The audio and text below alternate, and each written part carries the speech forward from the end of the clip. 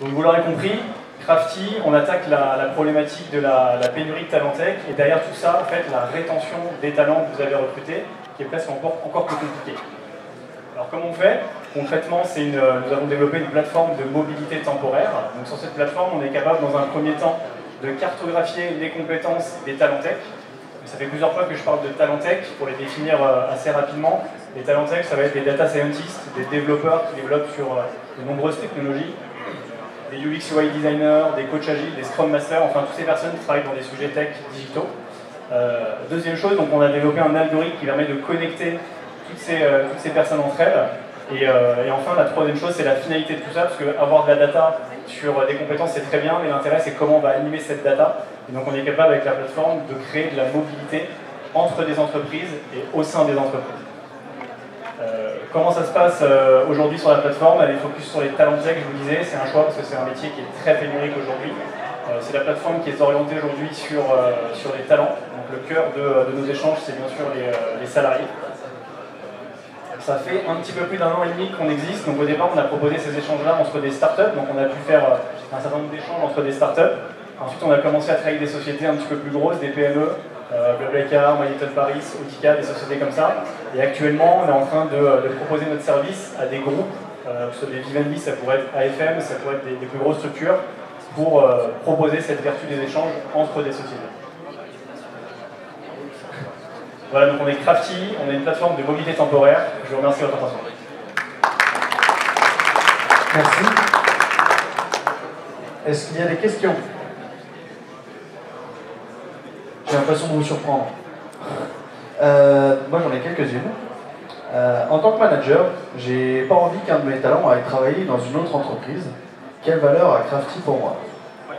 Alors ça c'est une question qu'on a souvent. En fait, les managers avec lesquels euh, on, travaille nous disent en fait j'ai un data scientist qui est, finalement euh, un exemple assez, assez standard dans mon équipe.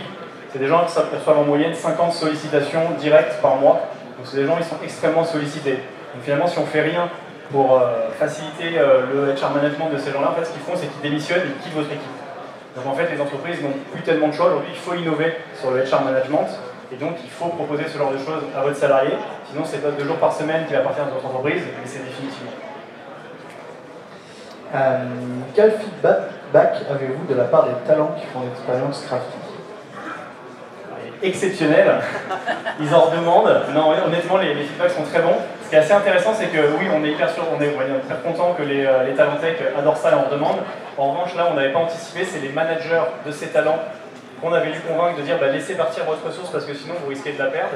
Finalement, c'est presque ces managers-là qui sont encore plus contents parce qu'en fait, il laisse partir une ressource qui va dans un autre écosystème, qui va être confronté à d'autres environnements technologiques, qui va apprendre plein de choses, va revenir dans son équipe et qui va insuffler tout ça, qui va participer à, une transformation digitale de l'équipe, à innover, à rajouter pas mal de nouvelles choses. Euh, c'est souvent les managers qui sont encore plus contents que les talentés qui sont déjà super contents.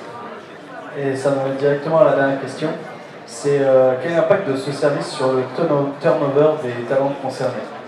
Potentiellement, une fois qu'ils ont goûté une autre entreprise, euh, c'est aussi un risque qu'ils partent plus vite dans l'autre entreprise. Ouais, alors pour l'instant, nous, on a, euh, si je prends euh, hier, sur la plateforme, on a une centaine de talents qui étaient sur la plateforme. Aujourd'hui, depuis qu'on existe en un an et demi, on n'a pas connu de personnes qui ont quitté leur job à la suite d'une mission avec Crafty. En revanche, on a eu pas mal de cas où un manager nous disait bah, cette personne, entre guillemets, en risque chez nous, on sait que c'est un talent, on n'a pas envie de le perdre, on sait qu'il est à l'écoute. Des gens qui ont été réengagés justement après avoir fait une mission avec Crafty ça fait un an et demi qu'on est C'est jeune. Merci beaucoup. Merci à vous. Euh, je demande à Vendredi de venir sur la scène.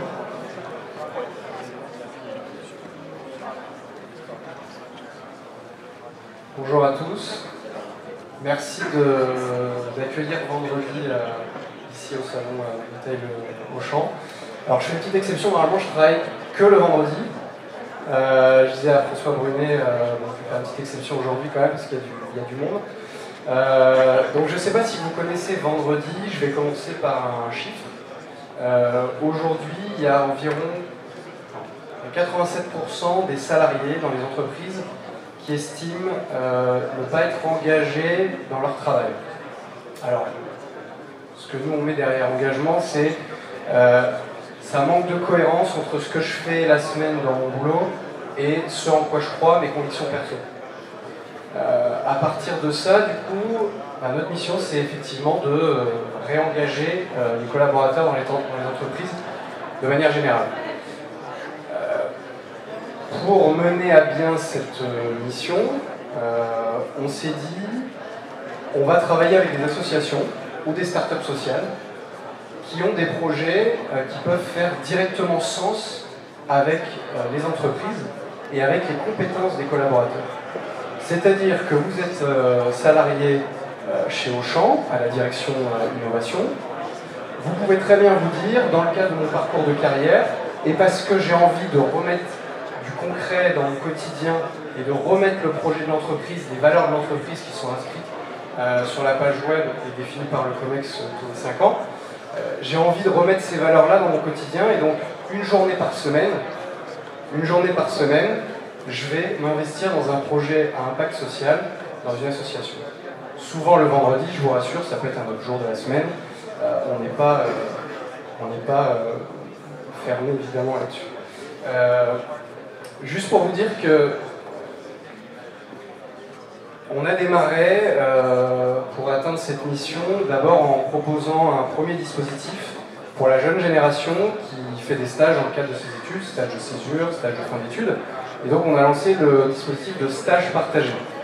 Euh, et alors pour bien comprendre, je vais vous donner l'exemple de Gaël qui, est, euh, qui était en master RH à l'ESCP et qui a fait son stage vendredi donc chez Leroy Merlin euh, au département RH. Et en fait, la particularité, c'est que Gaëlle, elle était à la recherche d'un stage RH le plus complet possible. C'est-à-dire à la fois toucher au sujet de marque employeur, au sujet, au sujet de recrutement et aussi au sujet, si possible, de formation. Dans le cadre de son stage, entre guillemets, classique chez le roi, euh, elle allait uniquement euh, bosser sur, uniquement sur le recrutement, le sourcing de profil et sur, sur la valorisation de la marque employeur de LMF. Euh, ce qui est intéressant, c'est que Gaël a choisi ce stage chez le roi Merlin, parce qu'en fait, on a construit avec euh, le roi Merlin France et l'équipe RH un stage vendredi ou une journée par semaine, donc le vendredi, elle allait aider les compagnons bâtisseurs à définir euh, les outils de formation des bénévoles de l'association. Donc en fait, il y avait un, un, lien direct en termes de compétences entre ce qu'elle faisait chez le roi du lundi au jeudi, et ce qu'elle faisait chez les compagnons bâtisseurs le vendredi. J'ajoute une dimension, ce qui est hyper important pour nous, à travers ces dispositifs, c'est de rapprocher les grands groupes des associations, qui ont en fait beaucoup de choses à se dire. tout le monde en est très conscient, mais c'est deux mondes qui commencent à de plus en plus se parler, et c'est tant mieux. Euh, les grands groupes commencent à parler aux startups depuis quelques années, c'est très bien. Nous, on veut aller encore plus loin et on dit que les grands groupes peuvent parler aux startups sociales et aux associations, elles peuvent même s'inspirer d'elles. D'ailleurs, c'est ce que Laurent Merlin nous a dit. Nous, ça nous intéresse typiquement que Gaël soit une journée par semaine chez les compagnies bâtisseurs, parce que typiquement, dans notre projet humain chez LMF, on a défini euh, l'engagement des collaborateurs et euh, l'impact sociétal du groupe euh, sur le long terme, comme devant faire partie du quotidien des collaborateurs. Donc en fait, le roi Merlin se dit potentiellement dans 10 ans, il y a des services et des produits qu'aujourd'hui je, ne fournis pas à des gens qui, sont, qui ont peu de revenus. Ben aujourd'hui, peut-être que demain je peux le faire. Et donc je m'inspire de ce que font les compagnons bâtisseurs pour peut-être creuser cet axe-là. Voilà.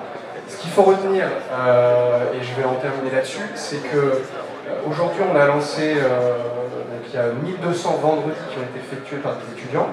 Ça correspond à plus de 15 000 heures de travail engagé. Euh, on bosse avec euh, le roi Merlin, donc il y a Carrefour, euh, L'Oréal, Saint-Gobain. De plus en plus de startups aussi sont intéressés par le, dispositif. Et maintenant, en fait, on, d'ailleurs sous la pression entre guillemets de nos partenaires, on, accélère et on va vous proposer aussi à vous, là, depuis quelques semaines, depuis quelques mois, des dispositifs de travail engagé pour les salariés. Et si vous avez des questions, n'hésitez pas à me les poser. Euh, voilà. Je suis à votre disposition au stand numéro 4, euh, je crois. Merci beaucoup. Euh, est-ce qu'il y a des questions en assistance